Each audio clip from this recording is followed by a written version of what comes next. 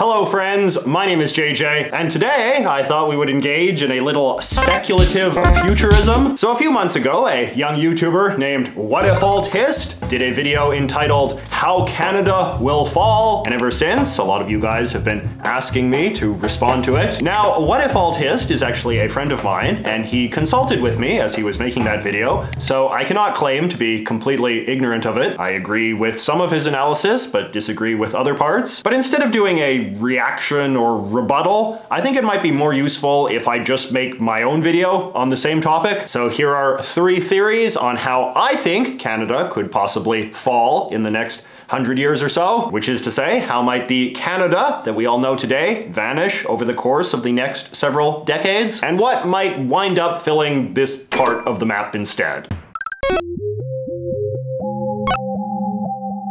So, by far, the most popular theories of Canadian futurism tend to revolve around scenarios involving the so-called breakup of the country. This is a very common Canadian expression you tend to hear a lot from politicians and commentators up here. Breakup of the country. It is based on what I would call a sort of keystone theory of how Canada works, which is to say the assumption that all of the provinces are held in place by each other, meaning that if one left, all of the others might scatter too. Keystone theory evolved evokes a certain idea of Canada's 1867 founding, in which the country was built to be a voluntary confederation between four different self-governing British colonies. So the idea is that if one province opted out of this arrangement, the whole underlying premise of the country would be violated, and there would be no reason for any of the other provinces to continue to play along. Canada has expanded dramatically since the founding, with many new provinces having joined, and some have always speculated that as the country has grown larger, the Confederation deal has become more unsustainable. That sooner or later, the different identities and interests of Canada's various component parts will come into some sort of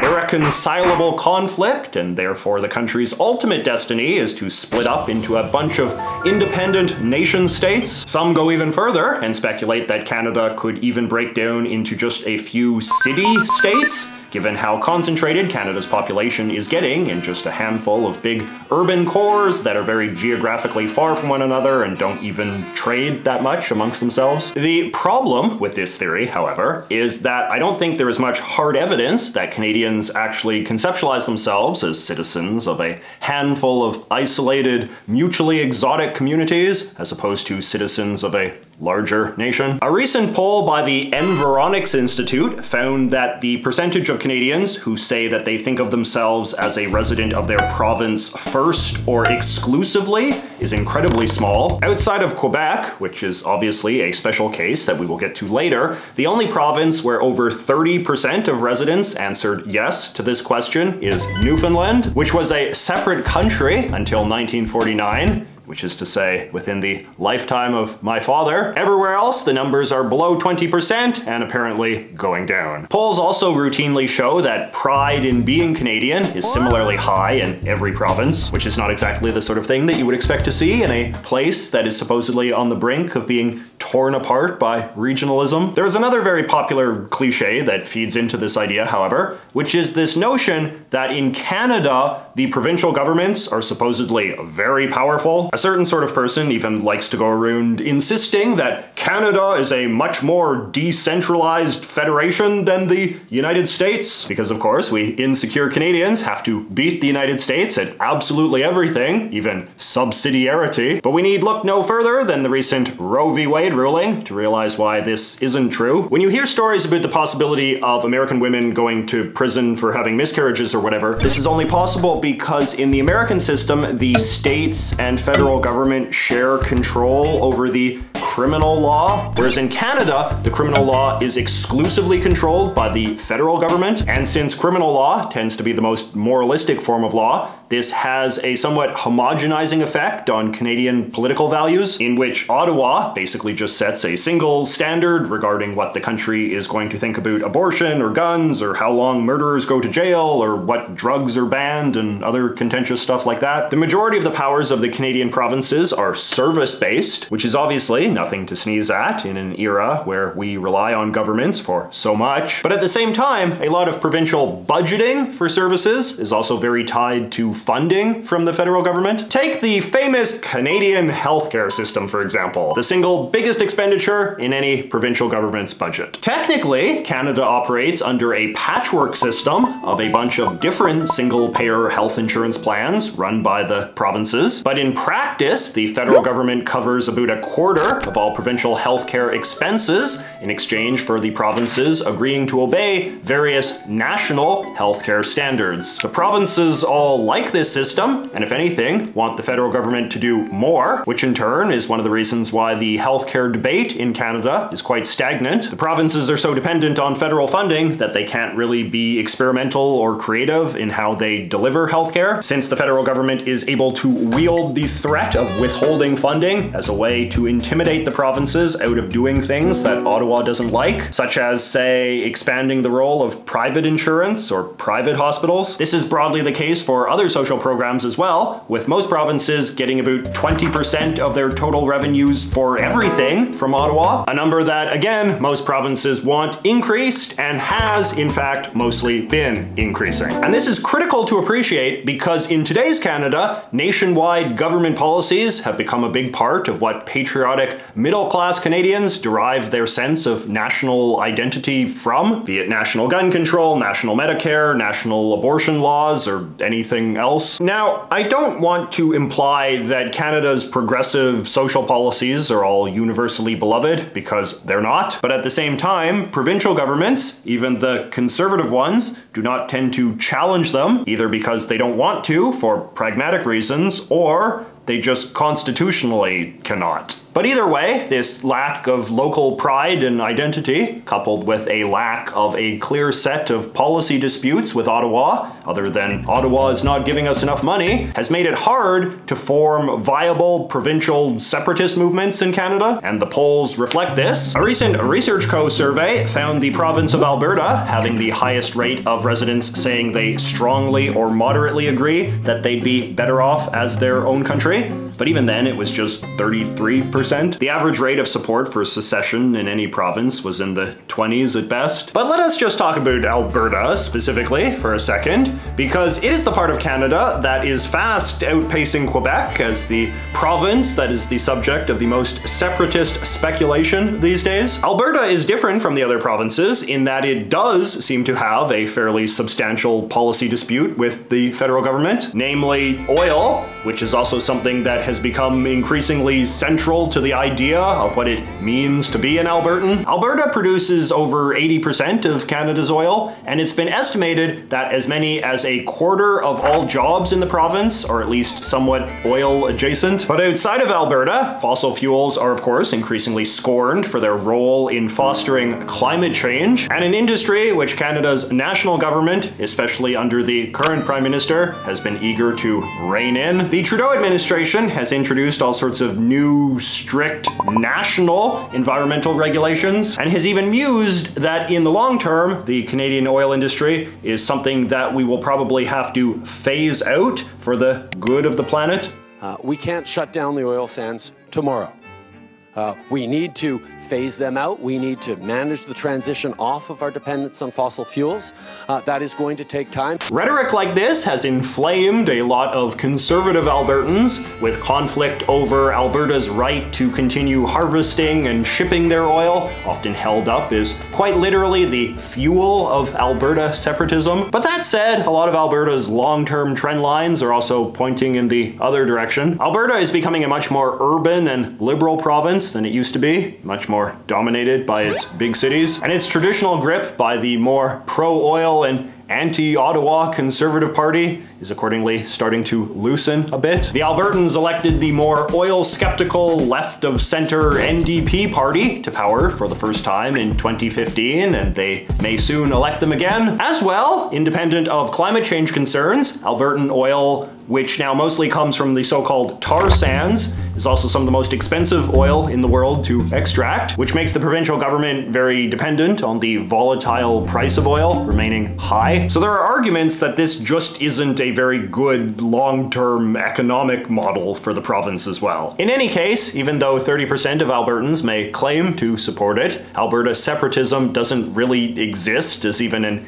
embryonic political movement. For decades now, efforts at creating a separatist political party have flopped to the point where even parties considered to be separatist, like the Maverick Party, have to water down their language about how they're actually just trying to get greater fairness in the Canadian system or whatever, and they still flop. Basically, for separatism to be viable as a political agenda, you need some sort of infrastructure to support it. Separatist parties, separatist leaders, separatist media, separatist intellectuals, and so on. And none of this exists in Alberta, let alone the other provinces, which is why I am always skeptical when commentators treat the breakup of Canada as something that is so obviously going to happen sooner rather than later. But, of course, there is one big exception to this, and that is Quebec. There has been a lot of talk recently about the virtues of playing the so-called long game in politics, and how the biggest victories come to the patient. And when it comes to Canadian separatist movements, no one has been playing a longer game than the French-Canadian nationalists in Quebec. In the old days, people thought that Quebec's breakup with Canada would come in a single, sharp,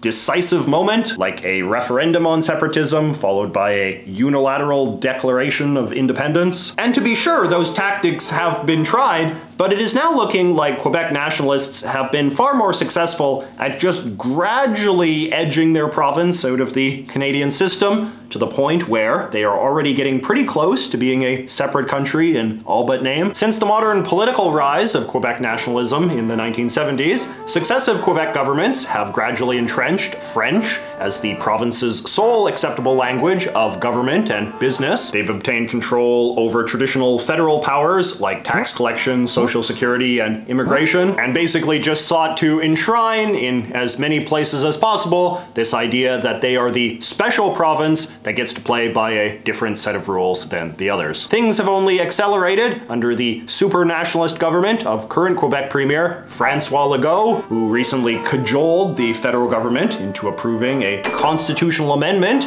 to declare Quebec the nation of the French Canadian people. This sort of thing would have been considered a huge affront to the Canadian order 20 years ago, but today the country has been successfully conditioned to accept it as inevitable because of the way the temperature has just been slowly turned up over the decades. It is now hard to imagine any future Quebec government putting any of this stuff into reverse, or any future Ottawa administration daring to try to put this toothpaste back in the tube. My assumption would be that in future decades, we will continue to see Quebec play the incrementalist game, with subsequent administrations acquiring the remaining symbols of sovereignty, including their own passports, currency, Olympic team, maybe even an independent armed forces. Whether this all culminates in Quebec eventually cutting the final cord and becoming an independent country, or whether the nation of Quebec is content being part of some sort of Kurdistan-esque autonomous zone within Canada seems kind of irrelevant. The point is, this seems destined to be a corner of the map where the Canadian government is going to exercise progressively less and less authority over anything, other than signing the checks, of course. But if we get back to the thesis of this video, does the departure of Quebec mean the end of Canada? If you buy into the most narrow version of the Keystone Theory, which posits that this country is fundamentally a cooperation deal between the French and English Canadians, then any opt-out by Quebec obviously means the collapse of that dream. But I honestly think that to most Canadians, Quebec is becoming an increasingly ignored, out-of-mind place, meaning that even if Quebec did leave, I really can't imagine it would have much impact on what people in the other provinces thought about their own status in Canada one way or another. The only other form of separatism in Canada I think has some genuine momentum would be indigenous separatism. I talked about this a bit in my award-winning video, Canada Has Failed, but for a number of reasons in recent years, the Canadian government has become much more enthusiastic about the idea of maximizing the autonomy of Canadian Indian bands, adopting what Prime Minister Trudeau has often called a nation-to-nation -nation relationship. His government likewise recently passed the UN Declaration on the Rights of Indigenous Peoples, which is basically the most explicit acknowledgement in Canadian law to date that Aboriginal Canadians are a people with rights and powers that exist completely independently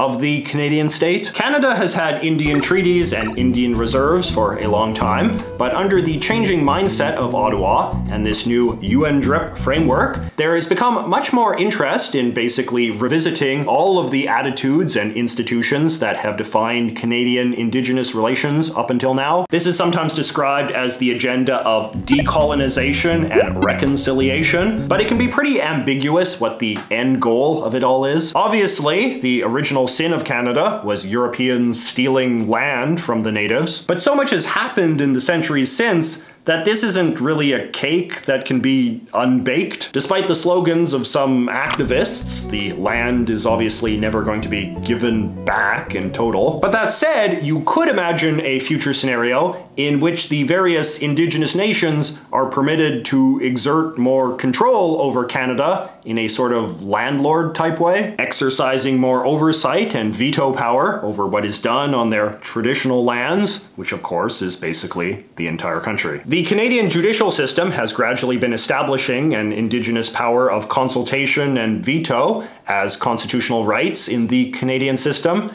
and I would assume that if we extrapolate several decades or so into the future, you could imagine Indigenous rights to have grown so expansive that the First Nations are basically co-governing the country in some way. Prime Minister Trudeau's administration has recently begun efforts to create something known as a Reconciliation Council, which is basically a body of Indigenous Canadian leaders to supervise the federal government's decolonization agenda. I think you could envision something like this eventually morphing into some sort of co-governing body that could conceivably even supersede the powers of the Ottawa government in various important ways. Now, could Canada survive this form of Indigenous nationalism? I think there are certainly people on the far left who would like to see the Canadian settler state completely broken down and replaced with some sort of post-colonial indigenous-led society. But more realistically, I think you could also imagine some sort of post-apartheid South Africa type situation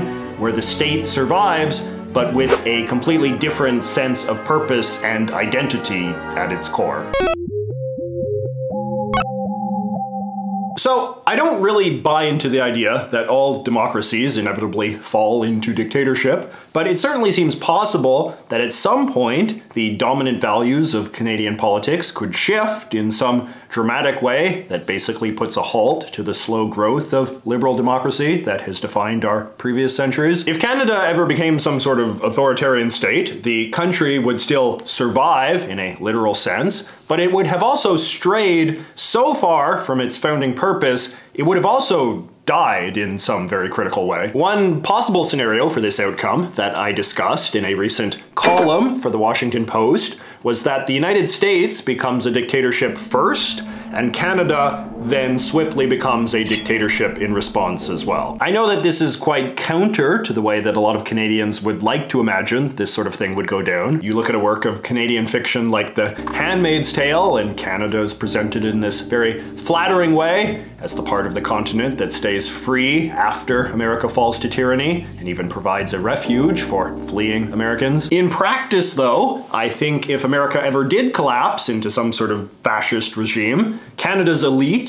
who tend to be pretty anti-American at the best of times, would probably feel incredibly vindicated and cocky and use the fall of America as a pretext to implement a bunch of regressive policies to lock in their own rule. In other words, if there was no more United States, a future Canadian government would probably feel more enabled to ban freedom of speech and freedom of assembly and restrict the media and end free and fair elections because these would all be seen as dumb and discredited American ideas that even America itself clearly did not believe in. It would be kind of like what happened in the 1940s in France after they failed to fend off a German invasion. The French political establishment just kind of concluded that democracy was no longer the pony to bet on and established their own fascist dictatorship to defend what was left of their sovereignty. You could imagine some future Canadian government making a similar argument that a collapsed and possibly hostile America necessitates the need for Canada to become a dictatorship too, to defend our independence and negotiate with the new American regime on a strong footing and so on. But even independent of this wild scenario, my guess would be that Canada of the future is probably on track to be less, not more free, and that anti-American nationalism will probably play a large role in that. I just think that the supposed need to protect Canada from American influences and American problems and even American ideas has traditionally proven itself to be a pretty flexible justification that can be used to rationalize a lot of bad ideas. And assuming nationalism remains strong across this country, or even grows, I think it is a fair bet to believe we will continue to see nationalism evoked as a pretext to restrain what Canadians can see, hear, say, or even vote for. But what if things go the exact opposite way? Why, then we would be in scenario three. So, from the earliest days, elites in Canada have worked hard to discourage Canadians from wanting to join up with the more rich and powerful United States, usually by portraying the United States as a wicked and repulsive place that ordinary Canadians should hate and fear. The exact reasons we are supposed to hate and fear America have changed a lot over the centuries, noticeably shifting from right to left, as I discussed in my award-winning video on Canadian nationalism. Today's Canadian nationalism is very much bound up in a kind of progressive populist rhetoric that as we talked about earlier, is very tied to things like public health care and gun control and abortion rights and other stuff that resonates with members of this country's secular and often quite nervous suburban middle class. This is a class of people who care a lot about affordability and safety and are thus highly susceptible to portrayals of America as a very dangerous, expensive place that threatens middle class dreams. But you know, even the strongest nationalism can break down over time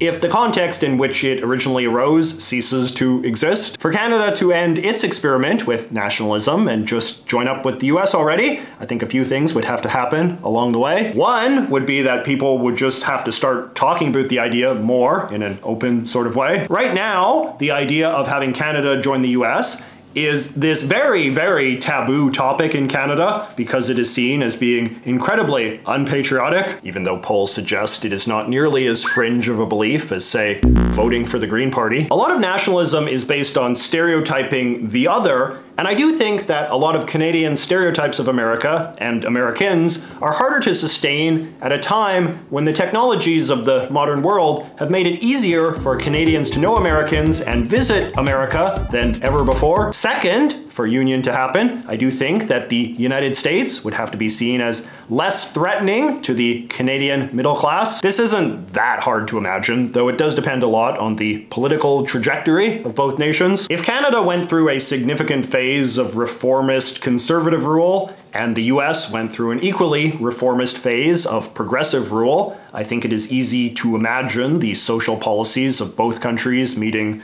somewhere in the middle. Again, we are talking about like decades in the future, not just like an election or two from now. But by like the year 2080 or so, it doesn't strike me as that unlikely that there could be a lot more cross-border consensus on issues like healthcare or gun control than there is today. And the third condition is that both countries would have to see a union as being in their clear material benefit. The Canadian journalist Diane Francis wrote a rare book in 2013 advocating a merger of Canada and the US, largely on economic terms, and largely because she said that this would be a way that Canada could help the US maintain its superpower status in the context of a world facing the growing threat of a rising China. She is somewhat sympathetic to the idea of a more planned economy, so she was very into the prospect of a single state exercising consolidated control over North America as a better way to manage the wealth and interests of this continent,